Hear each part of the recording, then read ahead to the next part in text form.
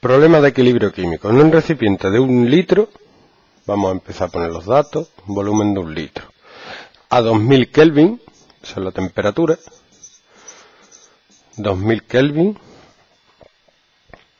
se introducen 0,05 moles de CO2 y una cierta cantidad de H2, produciéndose la reacción H2 más CO2 es H2O más CO. Lo primero que tenemos que mirar es si la reacción está ajustada y efectivamente está ajustada. ¿Vale? Dice si cuando se produce el equilibrio, la presión total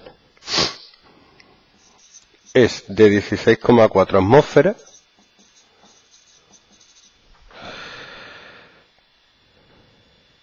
calcula los moles iniciales de H2 y los moles en el equilibrio de todas las especies químicas presentes. Y te dan Kc que es 4,4 bueno. En el inicio tenemos 0,05 moles de CO2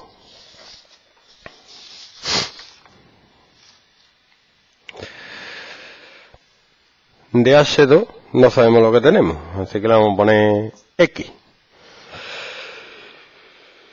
Y van a resultar de esto. En el inicio 0 y 0. Y en el equilibrio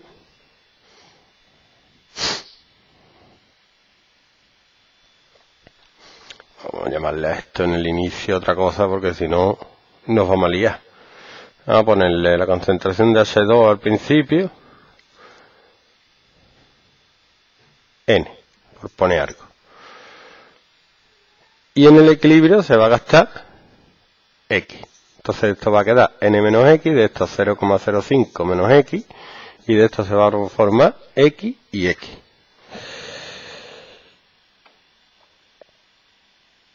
Vamos a calcular el número total de moles en el equilibrio. El número total de moles en el equilibrio.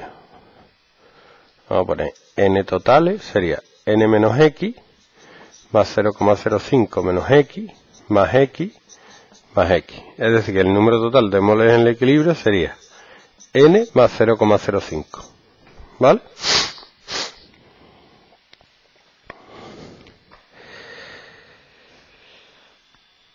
Y ahora en el punto de equilibrio vamos a tener que la presión que la tenemos en el equilibrio, que es 16,4, por el volumen, que es un litro, es el número de moles,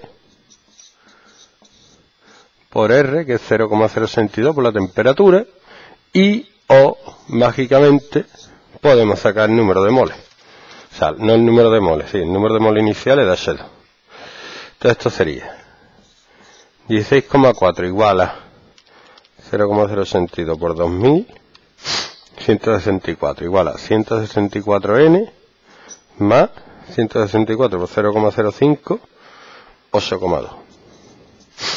O sea que me queda 16,4 menos 8,2, 8,2, n 8,2 partido de 164. 8,2 partido de 164 es 0,05. Lógicamente va a ser 0,05, va a ser la misma cantidad de esto para que reaccionen uno a uno. ¿Vale? Y ahora me preguntan también, Eh, los moles en equilibrio de todas las especies químicas presentes. Yo ya sé que Kc en esta reacción sería la concentración de H2O por la concentración de monóxido de carbono partido la concentración de H2 por la concentración de CO2. Ojo cuidado que aquí tengo moles y esto es concentración. K C que es 4,4 sería concentración de H2O X, que es el número de moles, partido del volumen, que es 1. Voy a poner el partido 1 para que se vea que estoy poniendo la concentración, ¿vale? Que es un fallo muy común. Eso a mí todavía me pasa de vez en cuando. Me da un coraje. Partido la concentración de esto, partido 1, que sería 0,05 menos x partido 1 por 0,05 menos x partido 1. ¿Vale? Entonces esto quedaría 4,4 igual a x cuadrado partido 0,05 menos x todo al cuadrado.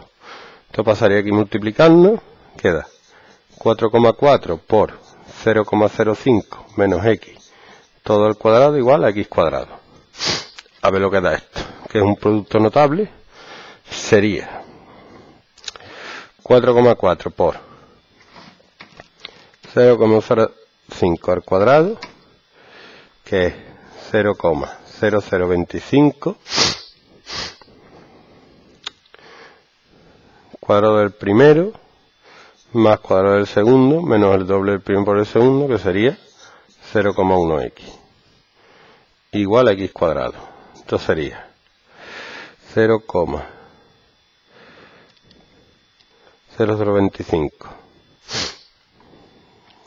por 4,4 que es 0,011 más 4,4 x cuadrado menos 0,44x igual a x cuadrado. Y me quedaría una ecuación de segundo grado que sería 3,4x cuadrado menos 0,44x más 0,011 igual a 0. Este ejercicio es un poquillo rollo porque sale el numerillo un poco raro, pero bueno, menos b más menos raíz cuadrada. De b cuadrado 0,44 al cuadrado 0,1936 menos 4 por 3,4 por 0,011 0,1496 partido 2A 2 por 3,4 6,8 entonces esto sería 0,44 más menos vamos a hacer raíz cuadrada de 0,1936 menos 0,1496 0,20 976 partido 6,8 y esto da por un lado 0,44 más 0,2 0976 partido 6,8 que es 0,0955 y por otro 0,44 menos 0,20 976 partido 6,8 que es 0,0 3386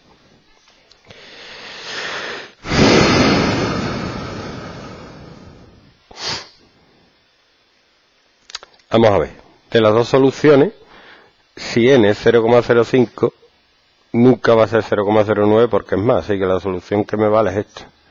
X sería 0,03386 y ya podría calcular eh, las concentraciones en equilibrio, esto sería 0,03386, 0,03386 y 0,05 menos eso es 0,016 aprox 14 y 0,01614 y ya está